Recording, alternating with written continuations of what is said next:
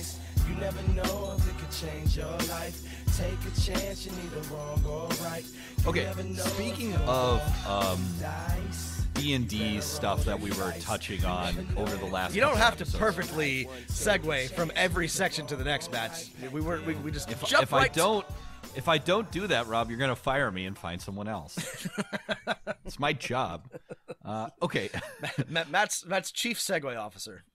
That that's right. It it is on my resume. Uh, I was looking at the survey done last year on D and D Beyond on character alignment.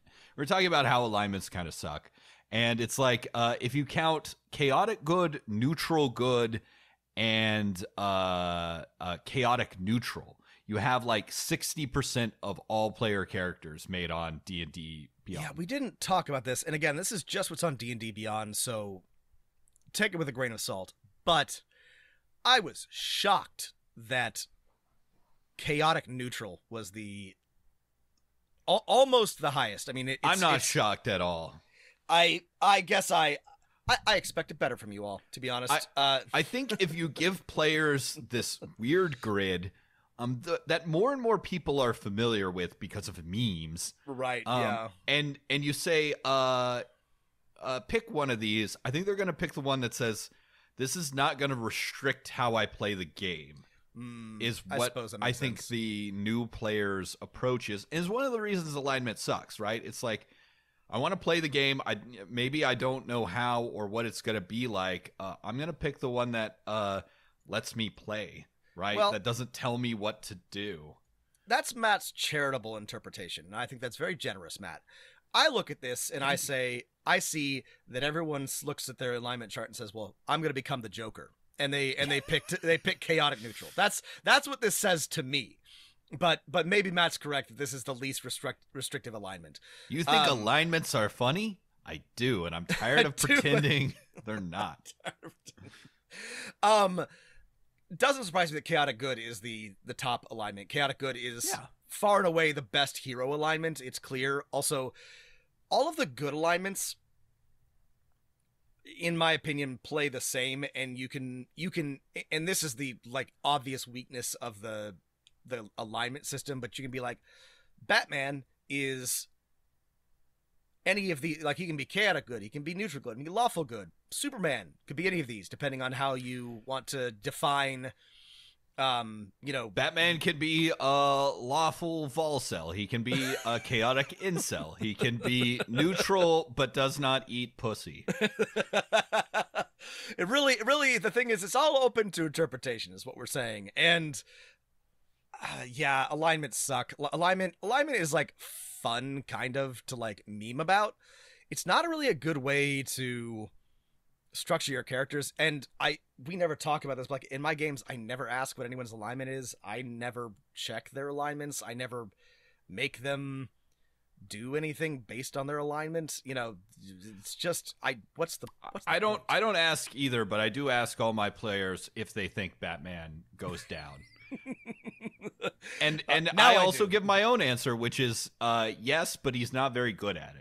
As Matt and I have already discussed, uh, I, I think this is bullshit. Batman is clearly Volcel. He does not eat pussy. He does not have sex. Uh, he is, you know, he, he he maintains his vital essence so that he can Yeah, fight. he, he learned that, yeah, from the uh, League of Shadows. That's I right. think. Do you, do you Yeah. think anybody in the League of Shadows fucks? Absolutely not. Uh, it's, I mean, Ra's al Ghul has Talia al Ghul. Like, I mean, you know, but not anymore. Not anymore. Anyway, um, yeah, alignment Damian is, Wayne. We don't. He was probably cloned. I guess. Yeah. is what you're saying. Uh, now here's a here's a radical thing that ties and neatly segues everything, ties everything back together again because it's all got to have a common theme. Is that um, I love the Magic the Gathering color wheel. I I don't like too much about playing Magic the Gathering, but I love this idea of the color wheel. I think it's pretty like and fun wheel. It, it and stupid nicely and great together. to think about. Everything has synergies and oppositions. It's it's neat. I like it. I think the Magic the Gathering color wheel would be better for uh, players to pick from than alignment at character creation. Mm. Interesting. You know, there, there's red, blue, black, green, white. They all uh, talk about your approach to the world, to solve solving problems. Right, red is all about action, aggression, freedom, uh, possibility. White is about uh, stability, kinship. Like, what are your values and how do you solve a problem? Is a much more interesting question to ask uh, than uh, alignment, in my opinion. And I think we should ask players what color they are. That's interesting. I like that. I'm open to all sorts, like anything but alignment. You know, is a is a good way to approach. Ugh, be done with alignment. Like like Rob, I think is um, Rob. I think you're like red green. I, I can work with that. I like red green. You like action over inaction, and uh, given a choice between going with the flow and causing trouble, you will go with the flow. That is an accurate. That is how I would align myself as well. This reminds me, well, I, I keep a detailed spreadsheet of all my friends and acquaintances where I where I list out their colors. It's a very normal Matt, thing Matt, I Matt, what would you be? I, I have my suspicions, but what, what, how would you Mm. define yourself? I think it's it's harder to define yourself. Hmm. Um, but I would probably go with blue or blue black. Um, in that I will seek knowledge is the action I will take, and uh, I will I will probably fuck you over at some point. You'll be mad at me. I, like that. I think that's good.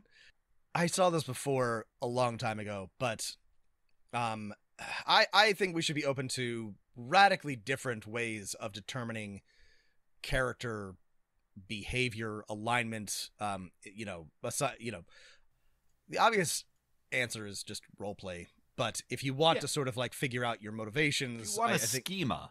yeah I, I think anything is better than the the the, the grid the nine box Stop grid. asking what alignment Batman is, and ask what uh what color is Batman. Uh, what what would you say Batman is? Batman. Well, it depends on who's Batman, Matt. This is the, the is Okay, it a Frank uh, Miller Batman. Is it is it um you know is Let's it Adam just say West the Christopher Batman? Christopher Nolan Batman. Christopher Nolan Batman is is red black. Hmm. Um, Okay, yeah, I would I would say he's definitely black. I would go maybe white black, right? uh, He's he's he's a he's a little bit of a fascist Batman, he is a right, fascist with Batman. no, all that's the- right. No, you're right. I think you're right. White, white but he's definitely Yeah. ruthless. Uh, Yeah.